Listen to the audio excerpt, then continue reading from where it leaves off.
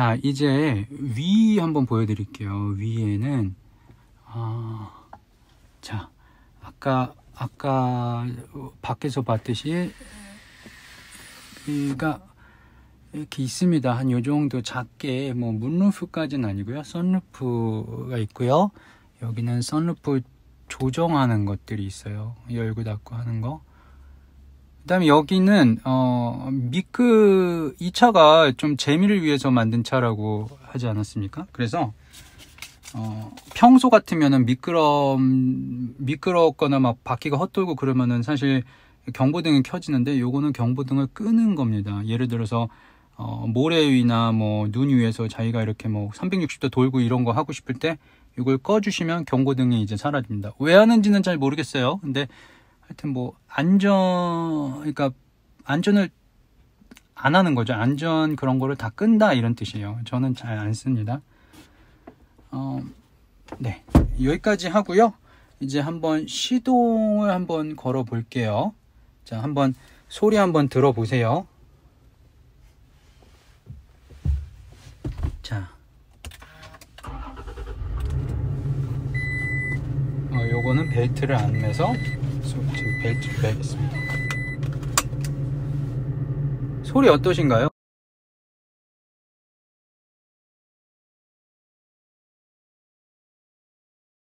뒷열을 한번 보여드릴게요.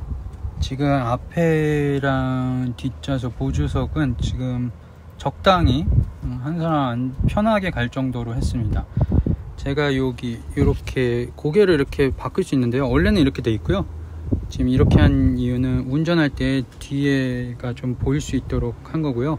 이거는 자유자재입니다. 이렇게 바꿀 수 있고요. 제가 이렇게 한번 좀 이렇게 타 보이면 자 무릎이 한 요 정도 남죠. 그렇기 때문에 그렇게 큰 차는 아닙니다. 보통 뭐 산타페나 요 정도 크기 나오는 건 아니고요. 조금 적당한 사이즈입니다. 그렇게 뒤가 의자가 제쳐지거나 어, 그러진 않습니다. 그렇기 때문에 조금 타이트한 감은 있어요. 뒤에 타면 음, 그렇지만 뒤에도 편안하고요. 이 차의 또 장점은 뭐냐면요. 이 의자에 이 속에 뭘 넣을 수가 있어요. 제가 한번 보여드릴게요. 뒤에서 보면은 뭐 이런 느낌인데 가죽으로 인조 가죽으로 돼 있어서 쿠션감은 좋고요. 음, 여기 음료수 꽂는 거. 뭐. 한번 의자를 보여드릴게요. 자, 여기 보시면 이렇게 잡아 당기면 이렇게 안에 또 뭘 넣을 수가 있어요. 그래서 여기 보면은 애기 의자 뭐 트럭에 애기도 태우는지 모르겠지만 애기 의자 거리도 여기 있고요. 음, 그 다음에 어 이거를 잠시만요. 제가 어디서? 이렇게 하고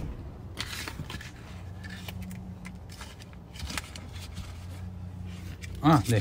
맞습니다. 자. 아, 이거는 왜 여기 들어 자 여기 보십시오. 이거는 제가 왜 여기 들어가 있는지 모르겠지만 무슨 용도로 의자 밑이 이렇게 저쪽도 마찬가지입니다. 이쪽도 이렇게 들면 이렇게 됩니다. 어, 왜 있는지는 저도 잘 모르겠습니다. 여기에 뭐가 들어가 있냐면 그 트렁크에 보통 트렁크에 들어갈 만한 것들 있잖아요. 여기에 보면 이렇게 여기다 넣을 수 있습니다. 저기도 열어 드릴게요. 어, 네 저기 뭐 바퀴 터졌을 때 아 바퀴 얘기가 나와서 그런데 네, 좀 이따가 이 차는 바퀴가 밑에 있습니다. 엑스 트라가 그래가지고 혹시나 바퀴가 터지거나 혹시 문제가 생겼을 때 교체할 수만 있다면 혼자 할 수 있죠. 이런 것들을 넣는데 저는 안 씁니다. 별로. 어, 뭐 어디다 써야 되는지 용도는 잘 모르겠고요. 하여튼 이렇게 의자 밑에 이런 게 나온다라는 거. 네. 그리고 의자도 이거 기울어진다라는 거. 자, 요런 요거를 빼주셔야 돼요. 이렇게 보통 요거를 집어 넣으시고 안전띠가 없어서 참 고, 생하시는 분이 계시는데 처음에 저희도 그랬거든요. 요거를 이렇게 하고 눌러주시면 이렇게 나오죠. 요걸 해주셔야지 안전띠가 됩니다. 아니면은 안 돼요. 자, 제가 타이어 한번 보여드리, 보여드릴게요. 자, 이렇게 돼 있고요. 타이어는 아까 BO2라고 말씀드렸죠. 근데 이렇게 똑같이 생긴 타이어가 여기는 이제 토잉할 수 있는 거가 돼 있고요. 어, 네, 여기 있습니다. 이렇게. 네. 대롱대롱 매달려 있죠. 네. 새 타이어입니다.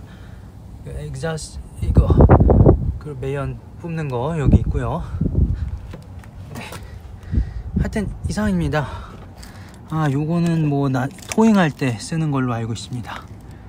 네. 아, 잠깐 들어가서 다시 얘기를 한번 해보겠습니다. 자, 그러면 과연 이 차는 토요타 타코마 이 차는 과연 누구를 위한 차인가? 요거에 대해서 제가 한번 나름 어, 정리를 해봤는데요. 이 차는 북미에서 굉장히 잘 팔립니다. 어, 뭐 여러분들이 어떻게 생각하든 이 차는 참 mid size 트럭 중에서는 제일 잘 팔리는 어, 트럭입니다. 물론 뭐 큰 트럭이 더 잘 팔리겠죠. 그렇지만 이 차도 도시형 트럭으로 굉장히 잘 팔리는 추세예요. 어, 한국에서 트럭 하면 용달차, 도시형 차, 용달차, 뭐, 포터나 뭐, 요런 거 생각하시잖아요. 그리고 바퀴도 작고. 근데 그거의 유용성은 이제 1톤 뒤에 굉장히 많이 실을 수 있죠. 이삿짐이나 이런 거. 근데 여기는 솔직히 박스는 작습니다. 그래서 그것만큼 싫거나 뭐 실용적인 면에서는 잘 모르겠어요. 근데 어 일단은 간지가 좀 나죠. 용달차보다는 좀 한국에서 트럭 탄다 그러면은 용달차 느낌이 생각나잖아요. 근데 그거보다는 간지는 나요.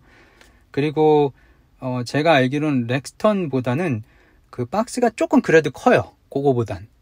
요렇게 나온 렉스턴이 있, 있나요? 어 저는 잘 모르겠는데 하여튼 그거보다는 크고 그 다음에 또한 아 문제는 그거죠. 엔진이 V6에 어, 276마력이나 278마력입니다. 36.64 토크에 그거를 무시할 수는 없죠. 달리는 것도 굉장히 좋습니다.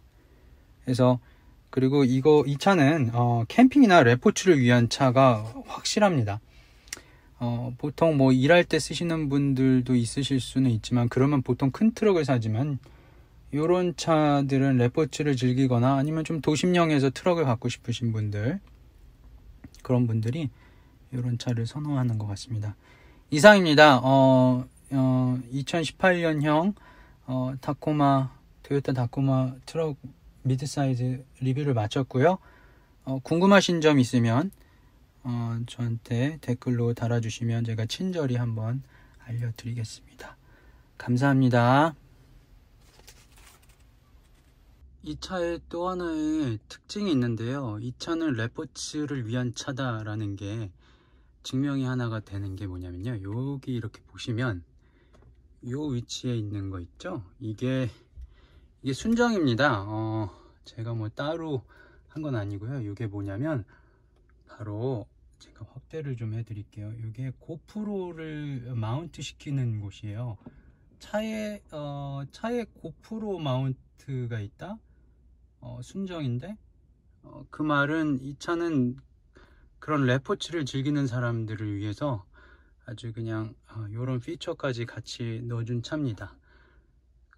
어, 참, 참고하시라고 제가 보여드리는 겁니다. 저는 참고로 어, 한 번도 써보진 않았습니다. 고프로가 없기 때문에 네 그렇습니다. 감사합니다. 마지막으로 정리를 좀 해드릴게요. 어, 도요타에서 나온 타코마라는 이 미드형 사이즈의 이 트럭은 어떤 사람을 위한 트럭인가에 대해서 생각해 봤는데요.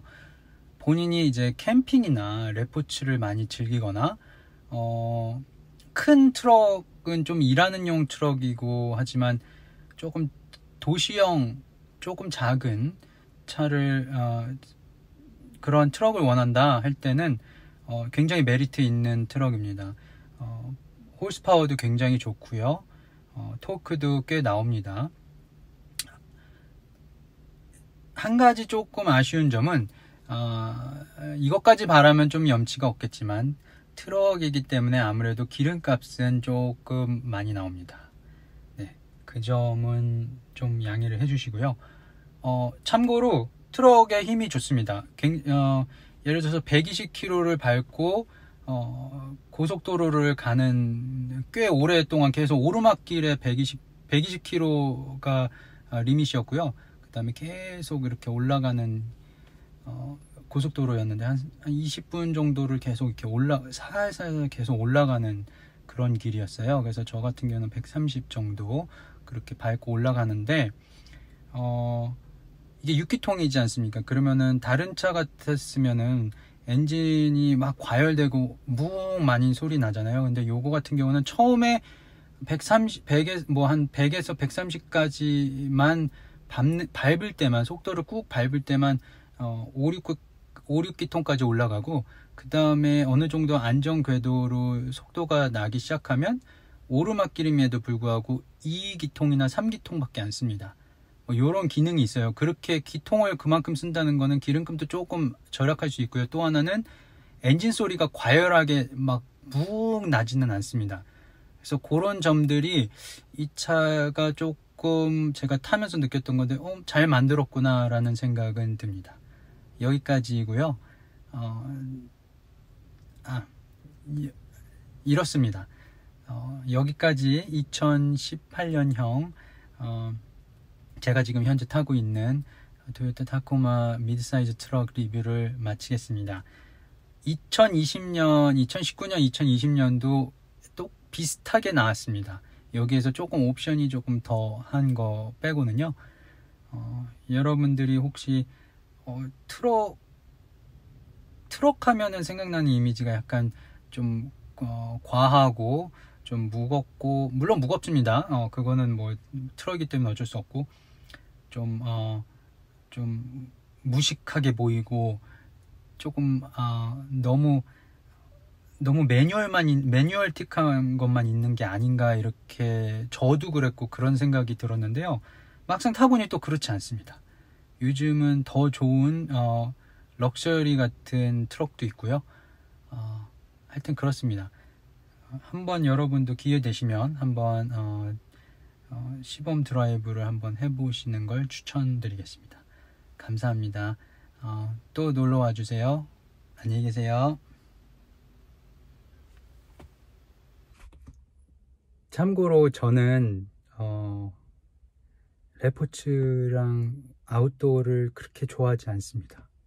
이 차의 용도는 그냥 출퇴근용이지만 아, 여러분들이 만약 이 차를 사시게 되면 레포츠나 캠핑이나 혹은 뭐 아웃도어를 좋아하시는 분들이 사면 참 좋을 것 같습니다. 어, 참 의외도 있습니다. 그냥 트럭을 타고 싶어서 어, 타시는 분들도 계시지만 어 참고로 승차감은 뭐 세단보다는 좋진 않습니다. 아무래도 트럭이다 보니까 그리고 제가 바퀴를 KO2로 바꿨죠.